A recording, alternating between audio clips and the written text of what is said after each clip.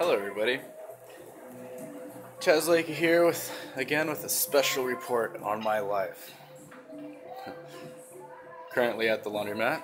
It's a thing I do. My laundry. It's real nice. Um, it's a nice place. There's nobody here. Just kind of hanging out by myself. It's usually how it is.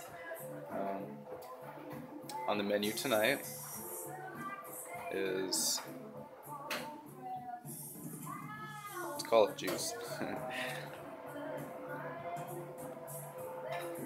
No, I'm just being classy, drinking wine out of a fucking paper cup after work, doing my laundry, hanging out with me, myself, and I. It's usually what I do. Check out my cool lighter. It's got style. I, uh,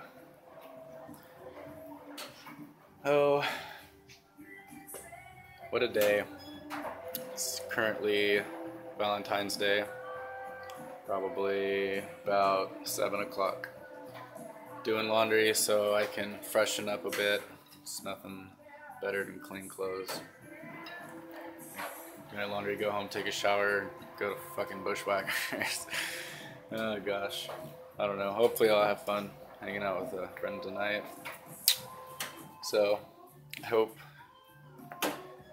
all of you beautiful ladies out there who don't have a Valentine are semi enjoying your night.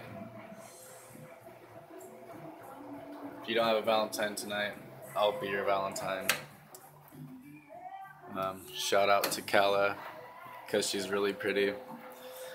And uh, yeah, happy Valentine's Day, guys. Chaz Lake, over and out. Namaste.